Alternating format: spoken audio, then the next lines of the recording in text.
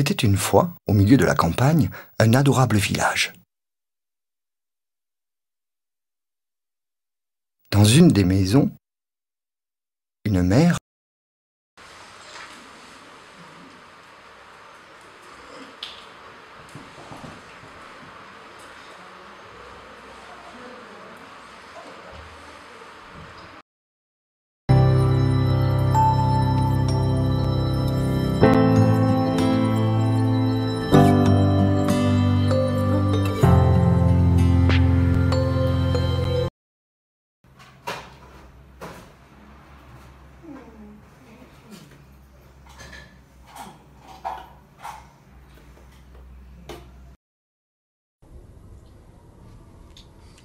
Depuis quelques mois, vous entendez beaucoup parler de la grippe A, H1N1.